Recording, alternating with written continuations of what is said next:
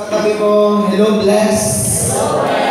Okay, sige, isang malakas na palakpak kay Lord. Hallelujah. So, we will now listen the word of God. Mga kapatid, at tayo makikinig ng salita ng Diyos. Kaya tayo po ay maging concentrated sa ating pakikinig para po tayo ay may mapulot, mayroon po tayong makuha na salita ng ating Panginoon. Amen? Okay, we believe the power of confession at whatever we confess, yan po mga kapatid ang magmamanifest sa buhay po natin. With faith, with boldness, and confidence. Tayo lahat sabi natin, thank God I am prosperous. Thank God I am Yes, because I'm blessed by the Lord. Greatly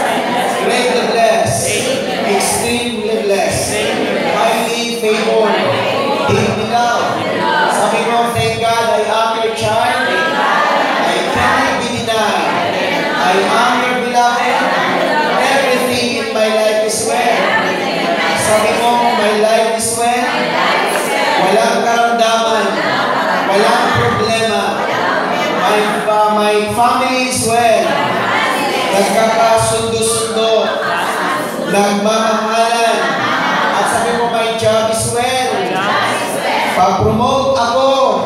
At sabi mo, my business is well. Lumalaki. Lumalago. At sabi mo, in the presence of God, nothing is missing. Nothing is broken. At sabi natin, all is well. Sige, palapakan natin si Jesus. Salamat. Because hindi lamang buhay ang pinapainam ng Lord, maging po ang lahat ng aspeto po ng ating mga buhay ay pinapainam ng ating Panginoon. Amen? Okay, minsan pa sabi mo sa katabi mo, you are greatly blessed.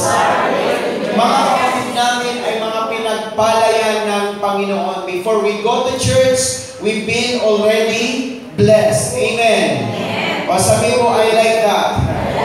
Okay, we will continue sa ating pong series about Christian family na ating pong pinamagatan ito mga kapatid na necessariness in a Christian family. Tapos na po tayo sa N-E-C-E-S at ngayon sa pangalawang S po tayo. Kinuha po natin yan mga kapatid sa Joshua 24:15 Good News Bible. Ang sabi po doon as for my family, sabi ni Joshua as a father, sabi niya, as for my family and me, we will serve the Lord. Hindi lamang po sila maliligtas, hindi lamang nais ni Joshua maligtas ang kanyang pamilya, kundi maglingkod din ang kanyang pamilya kasama sa Panginoon.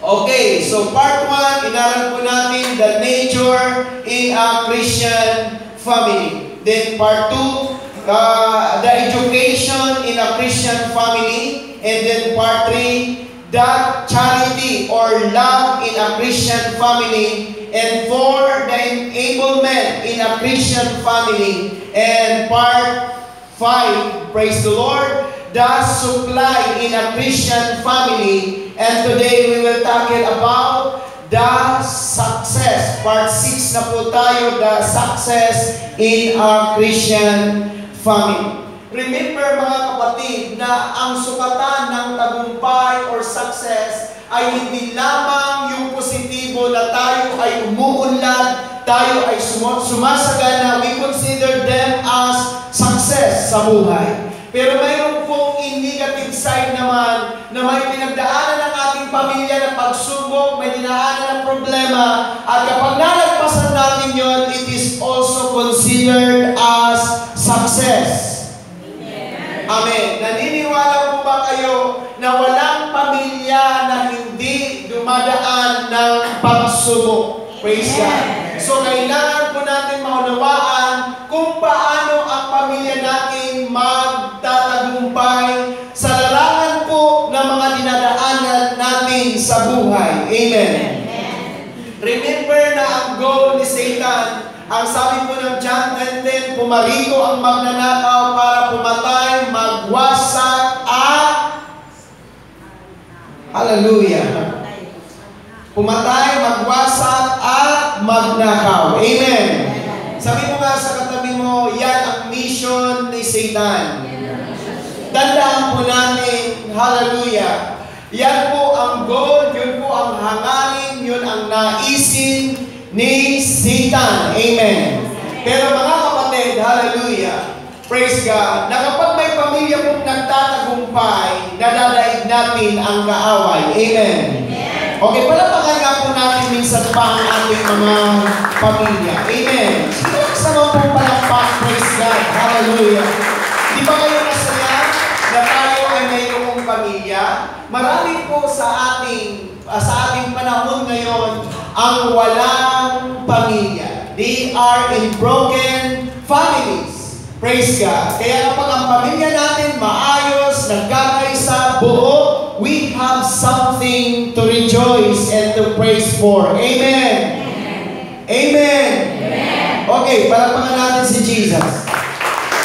Muli, mga kapatid, we're now in part 6, the success in a Christian family. Iikot po tayo dito sa Ecclesiastes. Hallelujah. For 8 to 12, may isa, hallelujah, na nag-iisa. Medyo, ano mga kapatid, sabi po dito ng Bible, may isa na nag-iisa at siya'y walang pangalawa. Sa Bible talaga, may mga taong single. Hallelujah.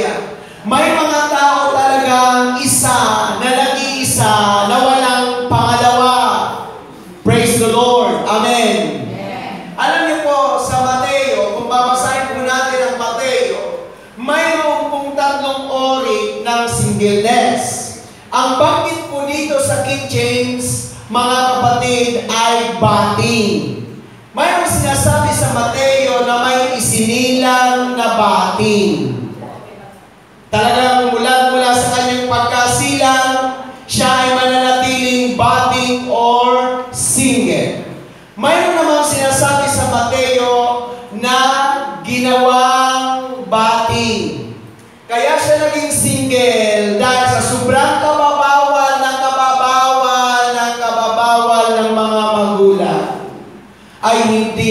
nakapag-asawa. Ang tawag doon, ginawang bating. Ang pangatlo naman, praise God, ay nagpapakabati. Hallelujah. Anong ibig sabihin ng pagpapakabati? Payag naman ang magulang. Hindi naman siya gifted ng, pag, ng singleness. Kundi siya lang talaga. Gusto niya lang yung single. Para walang commitment. Walang responsibilidad. Walang aalalahanin. Tama? I would repeat. Ang singleness sa Bible, tatlong ori. May isinilang na bating. Tulad kay Jesus Christ. He was born a single. Hallelujah. Kaya hindi siya talaga nag-asawa. Pangalawa, may ginagawang bating lang. Praise God. At pangatlo, nagpapaka-bating. Pero ang sabi ng Bible, may isa na nag-iisa at siya'y walang pangalawa. If you remember sa inaral natin noong nakaraan, sabi ng Genesis, hindi maganda sa tao ang nag-iisa. Mayroon pong tinatawag na advantages at disadvantages ng singleness. Oo, wala kang commitment, wala kang responsibilidad, pero paano kung ikaw ay tatanda na? Amen. Paano kung ikaw ay sabihin natin mararatay na sa balik? Sino ang mag-aalaga sa inyo? Kaya minsan, yun ang dahilan, mga kapatid, bakit ang iba ay nagpapamilya? Sabi nga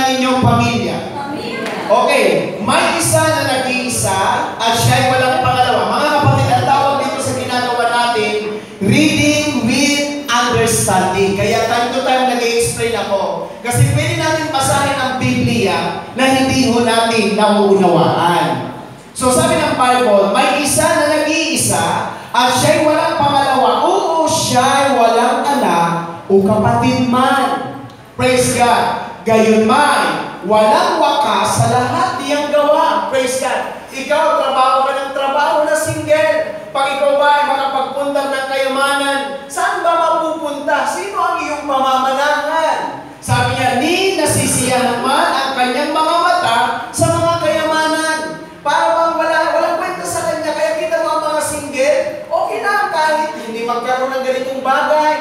magkaroon ng mga ganitong bagay, kasi wala siyang tinatawag mga kapatid na pagpapamanahan. Tama. Ang kayamanan sa kanya, okay na, wala, wala problema. Praise the Lord. At at din sa sabi ng Bible, hallelujah, dahil kanino nga, sabi niya, nung single niya, nagpapagal ako. Para kanino ako nagpapagal?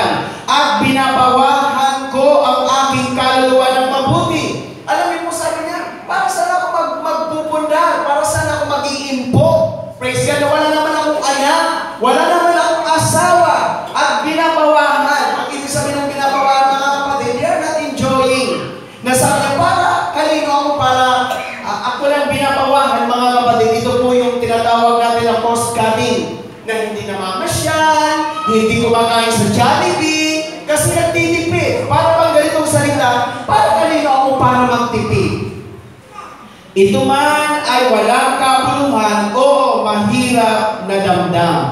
Mahirap ang nag-iisa. Amen? Sabi mo nga, mahirap ang nag-iisa. Ang pinag-uusapan natin dito na nag-iisa, yung since born ay nanatili. Yung mga ano po dito, mga kapatid, praise God, yung mga tinatawag natin, hallelujah, yung tinatawag po natin na single dito, yung isinilang na hindi nakapag-asawa, yung mga balo, may mga pamilya na ho yan eh. May mga anak na ho yan eh. Nag-iisip pa mga balo, kasama pa ako dyan. Sabi ni Pastor ay hindi na maganda, nag-iisa. Ang sinasabi natin yung singleness since birth. Amen? Ulitin ko, ang mga balo, nagkapamilya sila, nagkaasawa nagkaanak sila, manapay ngayon hanggang marami ngayon ang apo. Tama. Pero sabi ng Bible, mahirap na damdam ang single. Mahirap, mahirap. Amen. Pag nagkakasakit, ang hirap. Tama. Praise the Lord. Verse 9. Hallelujah. So huwag kayong mag-alala. Dalawa ay maigi sa isa. Sapagkat sila may mabuting kagantihan sa kanilang mga gawa. Remember na, mabuti ang single, pero mas mabuti ang dalawa. Praise the Lord. Verse 10. Sapagkat kung sila, yung dalawa, mabuhay. So, tingin kayo mga kapatid, sa pamilya natin, hindi pwedeng sabihin ng lalaki na hindi siya mabubuhay. Hindi rin siya pwedeng sabihin ng babae na hindi siya mabubuhay. Kasi ang sabi ng Bible, sapagkat kung sila ay plural, malalaki man o mabuhay, ibabangon ng isa ang kanyang kasama, ngunit sa aba o kawawa niya na single, na nag-iisa, pagka siya'y nabuhay at walang iba na magbabangon sa kanya, dito ipinapakilala ni Solomon at ipinapakita ni Solomon ang disadvantages at advantages ng single at married. Amen. Amen.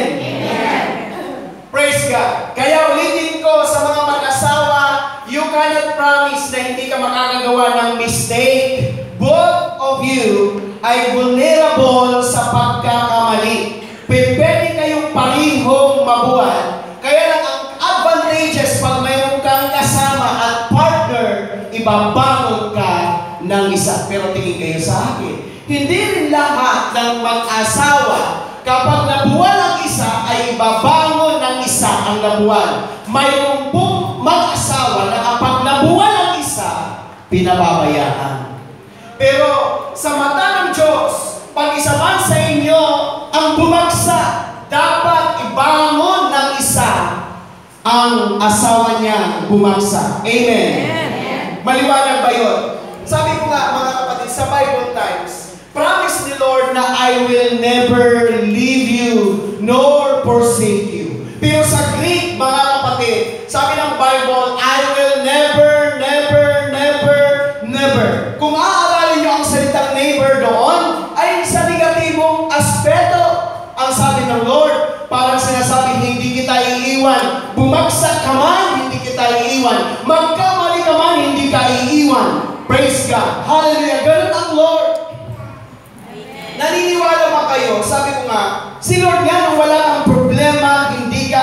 iniiwan. Ngayon ba na may problema ka ang iwanan ka ng Diyos? Sana sa mga mag-asawa, para ma-build up ang Christian family. Hindi natin sukatan ang pagkakamali, kundi ang sukatan natin ang pagtutulungan. Hallelujah. Kasi na nga may mga mag-asawa na kapag nag-fail ang asawa, iniiwan. Hallelujah. Pero ang Bible, ang aspeto ng Bible, pag nag-fail isa, nabuwal ang isa, ang kasama ang magbabangon sa kanya. Sabi mo sa asawa mong katabi mo, kailangan kita. Palapakan natin si Lord. Amen. Amen. Praise God. Next, ver- verse 11. Muli, inulit ulit ni Solomon. Kung ang dalawa ay mahigang magkasama, may init nga sila. Tama nga naman, pag nilalamig ka naman, may yayakapin ka.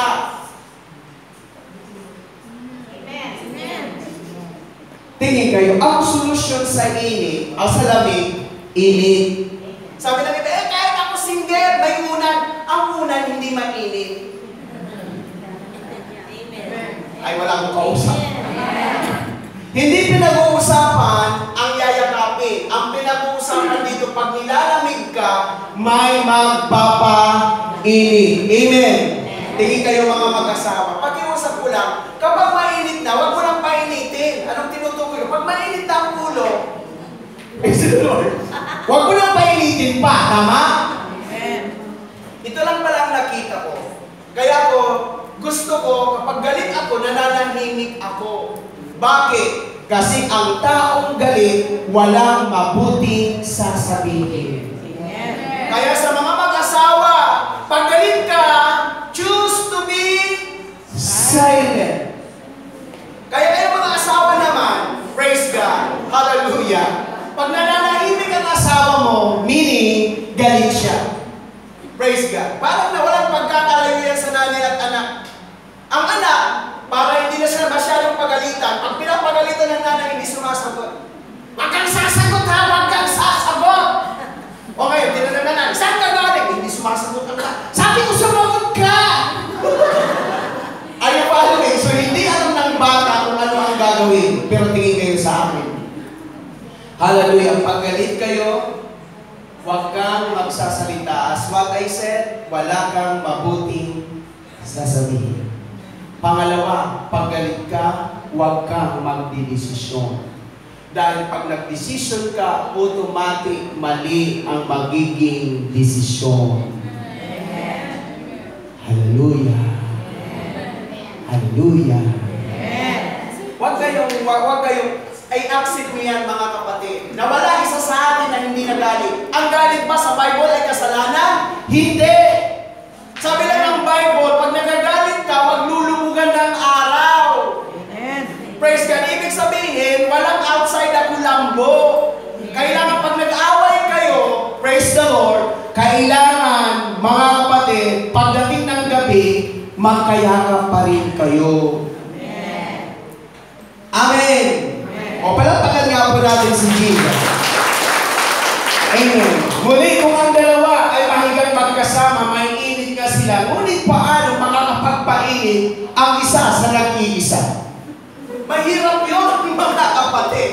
Amen.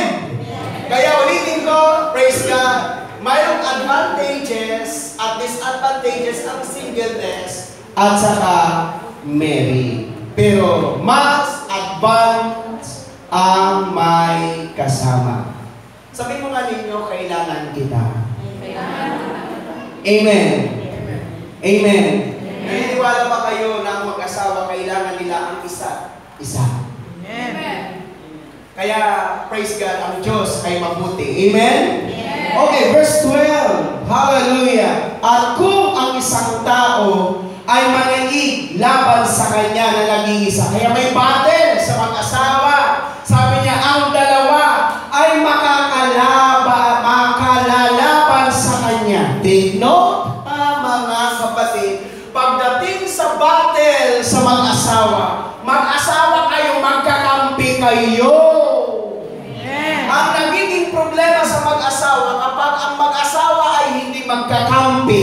Kapag dumating ang battle, agad silang malulugmok at maamas, ma madadaig madali. Why?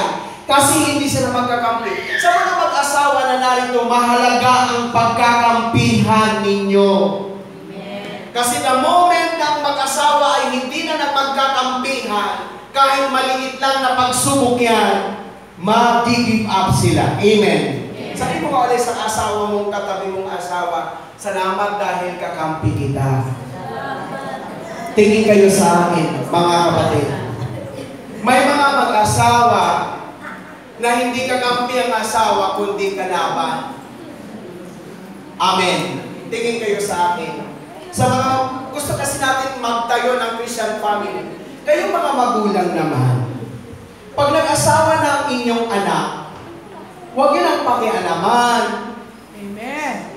Kasi minsan nagiging problema, praise the Lord, nagiging problema ng mag-asawa kapag pinapakialaman sila ng kanilang mga biyanan. Ulitin ko mga magulang. You have the authority with your children kapag sila ay nasa puder mo pa at nasa pamamahay mo pa. Pero the moment na mag-separate sila, sabi ng Bible, iiwan ng lalaki at ng babae ang kanilang mga magulang, sila'y magbubukod, separated na rin po ang authority. Amen. Sabi mo nga sa katabi mo, kakampi kita. Agree ba kayo? Na kapag ang asawa mo ay magkakampi kayo, walang pagsubok at problema na hindi kayang lalagpasan.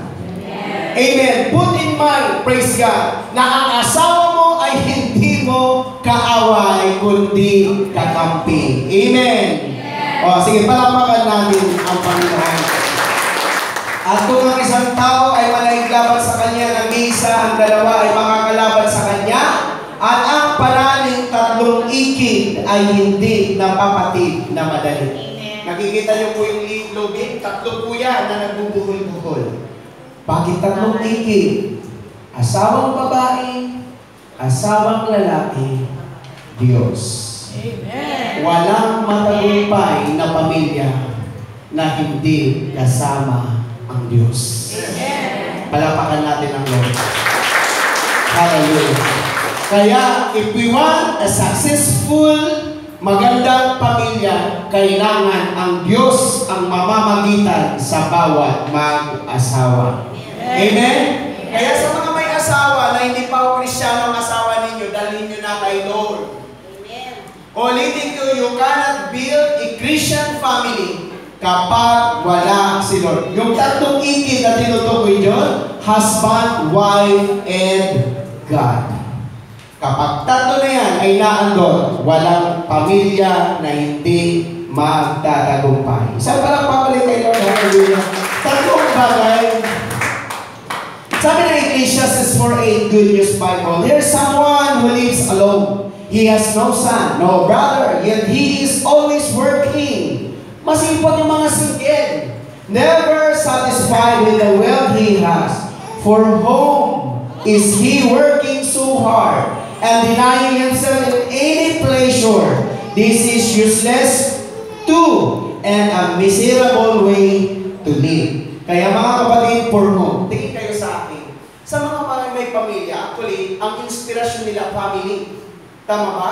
Kaya nag nagtratrabaho ang asawang lalaki ng hard work. Bakit? Kasi may pamilya. Tama? Tama ba? Mga lalaki, bakit kayo naghahanap buhay? Isa lang ang sagot niya para sa pamilya. Ang babae, bakit na gano'n na lang ang pagsasakripisyo, gano'n na rin din ang papangasipa para sa pamilya. Sabi nga ninyo, pamilya. Okay, palapakan natin si Lord. Amen. Next, hallelujah. Sige, praise God. Partners, personal qualification. Tandaan po natin ang pagsasama, ang partnership ay mahalaga. Partnership is very fulfilling. Agree ba kayo? Na kapag magkakampi kayo mag-asawa, kapag magkasama kayo mag-asawa, parang wala ka nang hahanapin pa. Amen. Sabi nga ninyo, fulfilling. Next, partnership is very inspiring. Nakikita niyo po ang mga mag-asawa, pag lagi silang united, nagkakaisa, nakaka-inspire. Tama? Hallelujah! Sa pagsubok magkasama, sa pagkain mahal, laging sabay Di ba may kanta niyan? And then partnership is very rewarding. Ang sarap po kapag ang mag-asawa ay talagang very rewarding. At hindi lamang partnership is very satisfying. And then last is partnership is very transforming. Kaya remember that your family must be your first ministry. Amen. Sabi nga ninyo, first. Lakasan nyo, first. Kaya kung may uunahin kayo, pamilya, amen? Kung may ililigtas tayo, pamilya, maganda po tumulong, maganda po magkawang gawa, maganda po gumawa ng kabutihan, pero dapat pamilya muna. Amen? Kaya kung tayo ay may dadaling kay Lord, may ililigtas tayo, dapat family muna. Sabi nga ninyo, family. Kaya salamat sa mga nagdadala ng pamilya dahil naiintindihan mo ang minimensahe dito sa church. Praise God. Hallelujah. Amen. Okay, number one. Sige. Hallelujah. Ecclesiastes 4.11 BBE translation. So again, if two are sleeping together, they are one. Kaya kailangan nagpapainit ang bawat isa. Tingin kayo sa akin, balik rin. Nang binubulay-bulay ko ito kagabi, ang mag-asawa pala, praise God, kapag hindi sila madalas nagkakasama, lumalamig ang pag-ibig. Kaya hindi advisable ang long distance relationship. Bakit may mga nasa abroad na nakakatagpo ng kulasisi at kalambati? Tingin. Bakit? Kasi bawat isa may longing. Balik na rin natin. Bakit naman may mga asawang babae na nag-abroad ang kanyang asawa at pagbalik, may kasama na ang kanyang asawa? Bakit malaki ang question? Napakasakit. Are you following? Tingin kayo ha, tingin.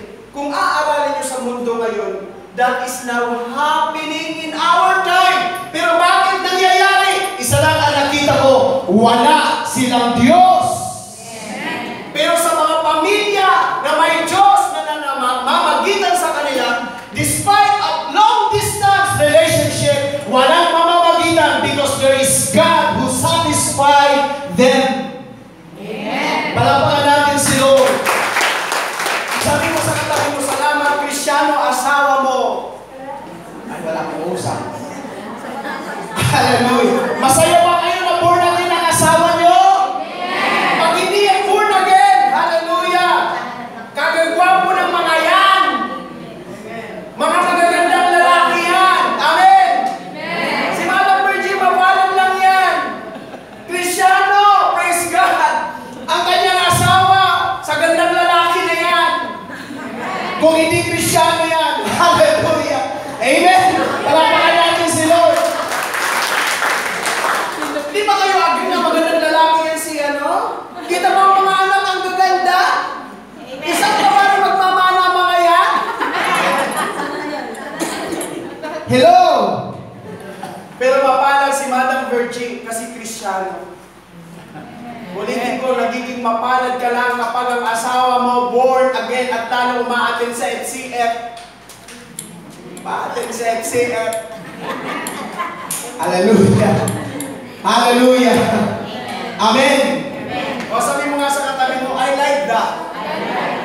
Alam niyo po ba na maraming mga churches bibihira magturo ng mga ganitong katuruan? Amen! O sabi mo nga sa asawa mo ulit, thank you for being my partner. Thank you for being my Hallelujah. Ang sarap naman. Sabi naman ng mga ng mga balo. Hallelujah. Wala ka namang pasalamatan. Huwag ka mag-alala. Praise the Lord. Okay, next. Una. Kaya two, mga kapatid ay mahalaga. Partnership of the family is best. Maniwala kayo. Anak sa magulang dapat partner. Magulang sa anak partner. Babaeng asawa at babaeng lalaki, ah, asawang lalaki dapat partner. Amen. Sa pamilya, huwag mawawala ang partnership. Sabi nga ninyo, partnership. Basta tayo, hallelujah, binasa na po natin kanina Ecclesiastes 4.9 Good News Bible.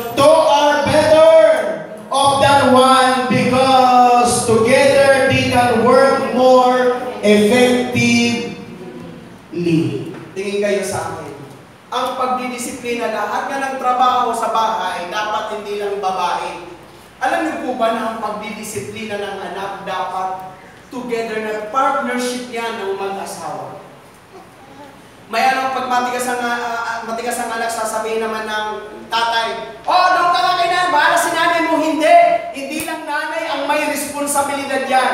Pareho kayong may responsibilidad when it comes to discipline. Tama? Nalaala ko, nagbabasa ako ng isang akla. Alam ko mga nanay, mas mahal nyo ang inyong mga anak. Mahal nyo ang inyong mga anak. Pero ganito lang po ang nababasa kong aklat. Kaya daw ang anak hindi nadidisiplina. Kasi pag pinapalo ng tatay, tatakbo sa nanay, at sasabihin ng nanay, ano tatay, paano papaloy natin yan? Naiintindihan lang bata, parang siya ang tama.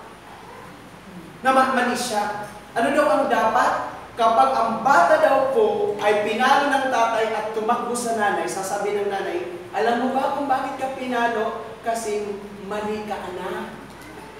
Dapat naiintindihan ng bata na kaya siya pinalo dahil mali siya.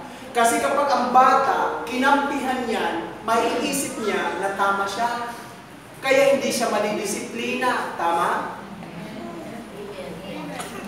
Hallelujah. Lalo na sa lula, praise the Lord, pag pinalo ng nanay yan, tumakbo ang apo mo, sasabihin mo, o ako, kaya ka mali. Kaya ka pinalo ng inay, kasi mali ka. Amen. At sa mga magulang naman, praise God, pag namamalo ho kayo, pagkatapos yung mamalo, tawagin mo ang iyong anak, anak, halika. Ihag mo ang iyong anak, at sasabihin mo, anak, don't you know kung bakit kita pinalo? Kasi mahal kita at ayaw kong mapariwala ka. Dapat hindi lang nila naiintindihan na disiplinaryan ka, dapat naiintindihan nila na mapagmahal ka. Palapakan natin si Lord. Amen? May nagpupulot po ba kayo? So partnership, puro partnership, mahalaga ang partnership, praise God. Ang isang bagay nagiging mabigat kapag nag-iisa. Pero pag dalawa kayong magkatulong, nagiging magaan. Amen? Tulungan tayo. Amen? Praise God. Isang malakas na pala. Malakas na po pala kapatid. Sa mga effectively. Kaya, two are better. Maganda po yung dalawa talaga. Kasi they can work more effectively. Sa paglalaba, effective yan kapag dalawa ang naglalaba. Balansihin natin. Sa ating panahon, dati kasi po, sa mga panahon namin nila pastora, gano'n na po ang matandaan mo, hallelujah. Ang mga babae talaga sa bahay lang. Ba, silang nag-aalaga ng anak, silang naglilinis ng bahay. Ang lalaki lang po ang nagtatrabaho.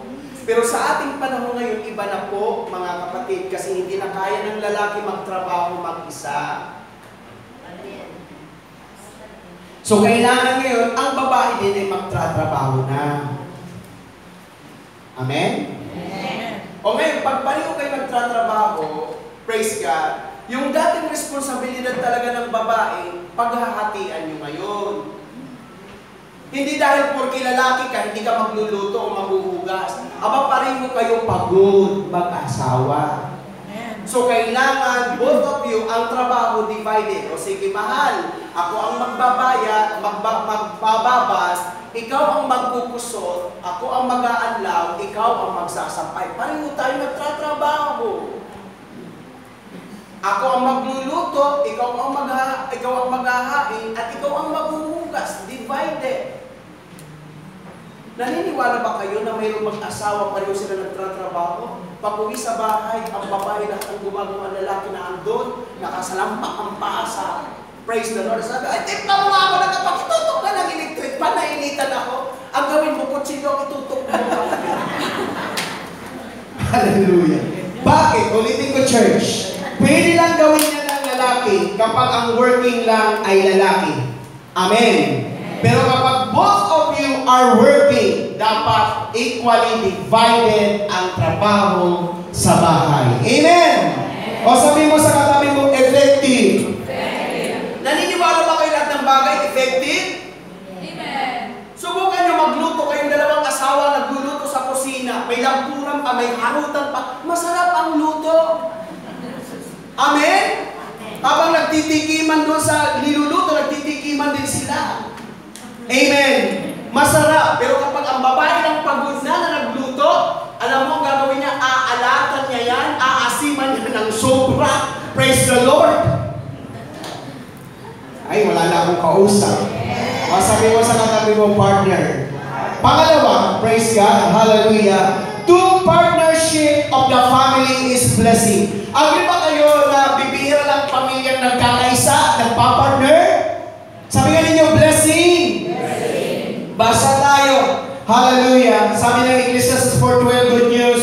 Two people can resist an attack that would defeat one person alone. So, sila ay magka, doon ang binanggit ko kanina, pareho kayong haharap sa problema. Amen? Huwag niyong iiwanan ang isa na mag-solve ng problema. Pareho kayong magsusolve ng problema. Amen? Amen. Sabi ko nga sa inyo, sa inyo, pareho niyong labanan ang problema. Amen? Nalala ko tuloy, tinuturo ko to sa pinye. Babanggitin ko lang po sa inyo. Alam ko naman ang iba nag-pinye. Nag-encounter. Tinuturo ko to sa pinye. Alam niyo po kung bakit nang bababae ang mga lalaki? Kasi, nung nagliligawan kayo, mabango ka. Nagtututbrush ka. Lagi kang neat. Lagi kang malinis. Maayos tingnan. Nang mag-asawa ka, hindi ka na nakaligo, hindi ka na nakapanuklay, hindi ka na nakapagpabango, at hindi ka na nakapag-toothbrush. Hallelujah. Mayroon nagpa-counsel sa akin, Pastor Lito, hindi na yata ako mahal ng aking asawa. Ako bakit? Kasi nung bago kami mag-asawa, may welcome kiss, may goodbye kiss, may kiss-kiss. Ngayon wala na. Kako, pakisabi nga ng ginagawa mo araw-araw yung routine life mo, Pastor. Kasi araw pala alas 5 gumigising na po, nagluluto na po ako ng, ng pagkain at pag uh, almusal ng aking asawa at pangbaho ng aking asawa. Pag agising ng asawa ko, maliligo siya pa, tapos nakaligo, alis siya, Pastor. Tapos ngayon, pag wala na ang asawa ko, gig, uh, gigisingin ko ang aking anak, paliligo ako, paliliniin ko, patutulogin ko, pagtulog ng aking anak, paglilinis ako, Pastor. At hindi pa ako tapos maglinis, gising na naman ang aking anak, paliliniin, patutulogin, pagtulog ng aking anak, paglalaro ako, Pastor. Hindi pa ako tapos,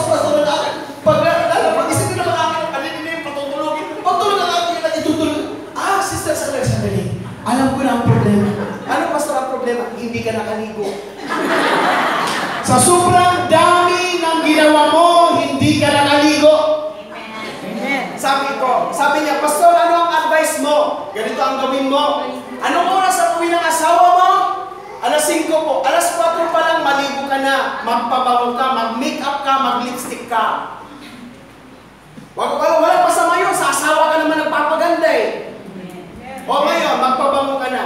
Isarado mo ang pinto, pero wag mong ilala. Kasi pero pag natin alas 5, kakatok ang asawa. Sasabihin mo, open yan. Praise the Lord. O ngayon, papasok ang asawa. Ikaw ngayon, nakakamisyon ka na. Ang tanong ka na sa may pito, alam pa, Honey! Praise the Lord. Tingin kayo, mga kapatid. Tingin kayo. Even though joke ito, pero may katotohanan. Ang lalaki mahina sa mabango. Kaya kahit pinagpapalit, ang mga prostitute, mababango sila. Wala akong naamoy na prostitute na amoy suka. Wala akong naamoy na prostitute na namamahong basura. Are you following? Oh, ngayon, mga kapatid, sabi ko, lagi kang mabango, lagi kang malinis, hindi ka ipagpapalit ng ang lalaki nagsasawa pag laging paksiw. Kailangan, minsan adobo, sunod na araw afritada, sunod na araw kaldereta. Huwag lang mga kapatid yung kinakain ng kapampangan. Huwag lang boro. Palakpakan natin si Jesus. Amen. Hallelujah! Malakas naman pong palakpak. Praise God. Kaya tingin kayo sa akin, magpatuloy kayo, magpaganda kayo, magpaganda kayo. Sa asawa niyo yan, hindi kayo magpapalit. Amen? Mga babae na asawa dito, sikapin niyo kayo ang pinaka best sa lahat ng babae sa mundo para sa asawa mo. Amen? Kaya huwag kayong magagalit, praise God. Ang mga mga babae dito, mga nanay dito, mga sexy, bakit? Pinapag pagandahan nila ang kanilang mga asawa. Amen! Pangalawa, kaya ulitin ko, i-resist nyo. Tulungan nyo rin ang asawang lalaki na makapagtagumpay sa tukso sa buhay. Amen? Amen? Okay, pangatlo, praise God, hallelujah. Partnership of the family beneficial. Hindi lamang best, hindi lamang blessing, kundi ito ay beneficial. Basa ho tayo, praise God. Dito pa rin tayo sa ating iniikutan. Important and good news, if one of them falls down and the other can help him up. Mahalaga ang nagtutulungan sa mag-asawa. Amen? Ito lang ang nakita ko sa binabasa ko. Alam ko binabasa about family. Sabi ng mag-asawa, pag nag-aaway daw po, pagka nagkakamali ang isa sa inyo o nag-aaway kayo, laging tinatanong ng isa, ano ang pwede kong maitulong sa iyo? Amen? Amen? Amen. Praise God. Halimbawa, mainit ang ulo ng asawa mo, lalapitan ng babae sa soft na boses, mahinahon na boses. Mahal, ano po ba ang may tutulong ko sa iyo? Dahil mainit ang ulo, ganito ang sasabihin, magpatiwangal ka. Hindi, joke. Praise God. Pero ulitin ko mga kapatid, ang mahinahon na boses nakakapagpakalma sa matigas at mainit na ulo ng tao. Amen. Amen. Na Wala po yung patigasan. Sasabihin ng baba, sasabihin ng lalaki, ah! Ako ang leon! Ako ang leon ng bahay na ito! Sabi ng uh, babae, ah! Ikaw ang leon! Pero ako ang may-ari ng leon! o, tingnan nga, dinugtungan ko yan! Dinugtungan ko yan! Sabi ng lalaki, oo! Ikaw ang hari sa tahanan. Ang babaeng asawa naman ang siyang may-ari ng leon. Pero wag ka, kapag minaltrato mo ang leon, lalamunin ka rin ng leon. Amen? So, ibig sabihin, mga kapatid, when it comes to partnership, iwasan natin ang mga bagay na makakasira sa pagkakaisa. Amen? Sabi ko nga sa katabi mo, you are my help. Po ba ang kantang help? You help me stand. Ang ganda nun, ano, ibinabalik ka sa ministrya. Ulit. Yun po ang pagtulong. Ibabalik mo ang nadapa, ibabangon mo ang nadapa. That's how the Lord loves us. Amen? Amen. Na kahit bumagsak ka, ibabangon ka. Last verse. Ah, dito po sa ating inspiration. Inspiration is the only stamina of a person to keep working for whom he or she loves. Tandaan mo natin, ang inspirasyon. Kaya pala mga tao masipag kasi may inspirasyon sa buhay. Amen? Mga lula, kaya masisipag mga yan kasi may inspirasyon sila sa buhay. So that is inspiration. Amen? If you want to be inspired in life, you need na mayroon kang minamahal para ma-inspire ka. At mga anak na narito, dasa na ang inyong mga inspirasyon ay ang inyong inyong pamilya. Amen? Last verse, praise God. And that, for 12 say heavy, someone might be able to pick up one of you, but not both of you, as the saying goes, a rope made from three strands of cord is hard to break. In-explain ko na po kanina. Pagkasama natin ang Diyos at kapartner natin ang Lord sa ating pamilya, walang pwedeng hindi pagtagumpayan. Amen? Church, tulad ng aking inuulit-ulit, huwag po tayo maging judgmental sa mga family na may broken family. Wala pong nagkagusto na magkaroon ng broken family. Kaya lang, ito lang po ang naging problema. Nang humarap sila sa pagsubok, hindi sila naging magkakampi. Hindi sila nagtulungan sa isa't isa. Kaya gumive up ang isa. Pero ulitin ko, para pamilya natin magtagumpay, pareho kayong lalaban, pareho kayong magkakampi, at pareho tayong magtutulungan. At walang pagsubok na hindi kaya pagtagumpayan. Amen? Sige, tayo tayo lahat, mga kapatid, praise God. Hallelujah.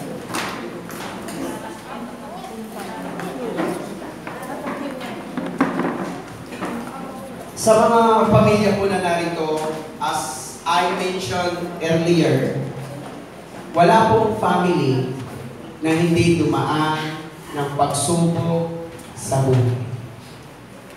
Minsan dumarating na parang hindi nyo na kaya. Pero always remember na kapag kasama natin ang Diyos, walang problema hindi kaya pagtagumpayan. Sabi mo nga sa katabi mo, kasama natin ang Diyos. Hallelujah. Amen. Praise God. Ito awit na awitin natin.